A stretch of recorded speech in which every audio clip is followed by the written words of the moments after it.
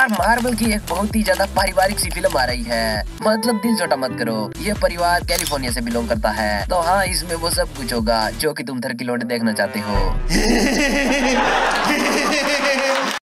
पर यार राइट्स मिलने के बाद मार्वल ने एक्साइटमेंट एक्साइटमेंट में इस मूवी की अनाउंसमेंट तो कर दी है। पर एक चीज़ उसने अभी तक नहीं बताई है, कि अगर फैंटास्टिक फोर एमसी में एग्जिस्ट करते थे तो जब थैनो सभी एवेंजर्स की बिना दिल बिना बांसुरी के बजा रहा था, तब वो कहा थे मतलब अगर एंड गेम में ये भाई साहब अपने कानून से भी लंबे लंबे हाथों से चुटकी मार देते तो आज हमारे टोनी भैया हमारे बीच ज़िंदा होते। और वैसे भी ये टीम पावरफुल भी इतनी ज़्यादा है कि इनके दुश्मनों की शुरुआत भी डॉक्टर डूम और गलेक्टर जैसे सुपर विलन से होती है। तो अगर इन्फिनिटी वॉर और एंड गेम टाइम में ये फैंटास्टिक फोर होते तो आज लड़ाई का रिज़ल्ट कुछ और ही होता। तो अब चलो यार, आज की इस वीडियो में हम इसी सवाल का जवाब जानने की कोशिश करेंगे। That where was the Fantastic Four during Infinity War Fantastic Four Infinity War के टाइम कहाँ थे? तो चलो यार ज़्यादा टाइम ना वेस्ट करते हुए शुरू करते हैं। पर यार आगे बढ़ने से पहले प्लीज़ यार इस वीडियो को एक लाइक कर देना। So without wasting time let's start तो देखो यार यहाँ पर मेरे पास एक बहुत ही ज़्यादा कमाल की ऑर्गेजम प्रदान कर देने वाली थ्योरी है जो कि फैंटास्टिक फोर मूवी को Captain America the First Avenger और एंड गेम से जोड़ती है। वाओ तो अगर आपने मूवी का पोस्टर या मेरी पिछली वीडियो वीडियो कौन देखता है मेरी? मेरी वीडियो बुला कौन देखेगा?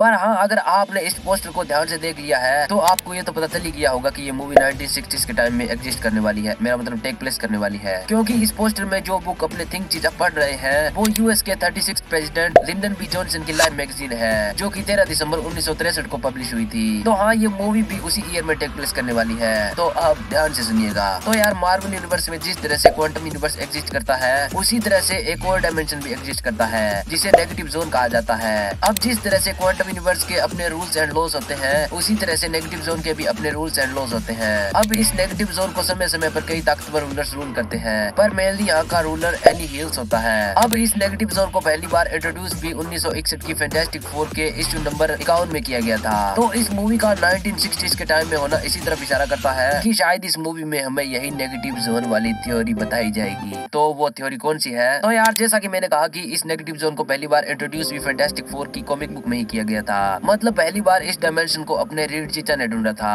अब मूवी में ऐसा हो सकता है की जब Captain America the First Avenger के टाइम लाल खोपड़ी ने पहली बार एक इन्फिनिटी स्टोन यानी टेसरेक्ट का यूज़ किया होगा, तब उससे निकलने वाली एनर्जी से नेगेटिव जोन एंड अर्थ के बीच में एक पोर्टल बन गया होगा। अब बिल्कुल उसी तरह से, जैसे हाल ही में आई द मार्बल्स मूवी में कमाला के बैंगल से निकलने वाली एनर्जी से एक्स मैन के यूनिवर्स में एक पोर्टल खुल जाता है। अब उस नेगेटिव जोन वाले पोर्टल का अपने रीड रीचर्स को पता चलेगा, और उसे पता होगा कि ये जगह कितनी ज़्यादा खतरनाक है, क्योंकि भाई वहाँ पर घूमने गया होगा।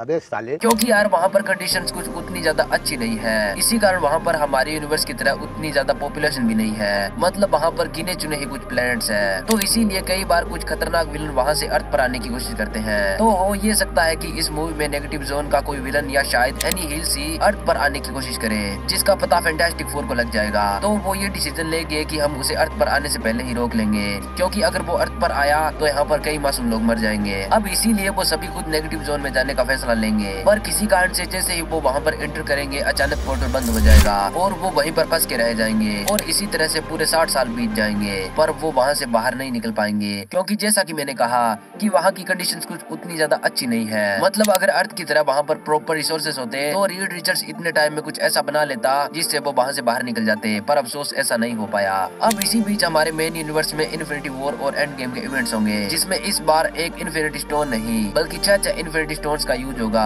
तो जब एंड गेम में अपने टोनी भैया ने इन्फिनिटी स्टोन का यूज़ करके तेनोस एंड आर्मी को गायब किया होगा तो उस टाइम तो उसने स्नैप की होगी, उससे बहुत ही ज़्यादा एनर्जी निकली होगी। अब बिल्कुल उसी तरह से, जिस तरह से पहले रेड स्कल ने किया था।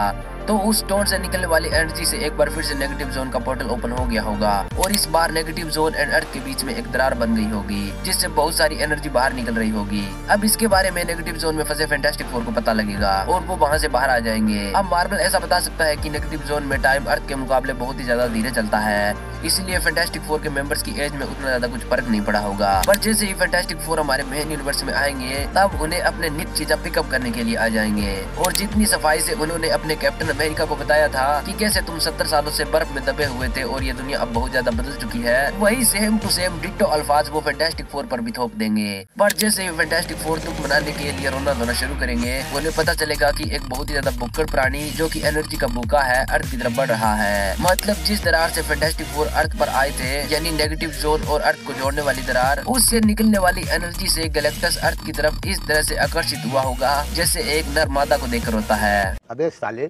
और इसी तरह से फैंटास्टिक फोर इस मूवी में गैलेक्टस को रोकेंगे और अर्थ को बचाएँगे और हो जाएगी मूवी की हैप्पी वाली एंडिंग और हाँ यार वीडियो को लाइक करके तुम भी इस वीडियो की हैप्पी वाली एंडिंग कर देना। बाकी अगर ये जानना चाहते हो कि आखिर कैसे आयन मैन थ्री का यह बच्चा, जिसे बाद में एंड गेम में भी दिखाया गया था, ये कैन डेनेस्टी में कैन की जगह ले सकता है तो वो वीडियो यार तुम्हें एंड स्क्रीन वाली वीडियो में मिल जाएगी। बाकी चलो मिलते हैं किसी नेक्स्ट वीडियो में।